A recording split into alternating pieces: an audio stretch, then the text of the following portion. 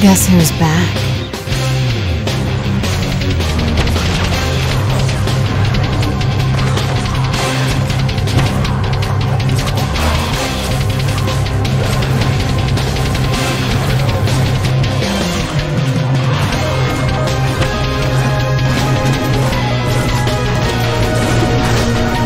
This could turn out to be a pretty good day.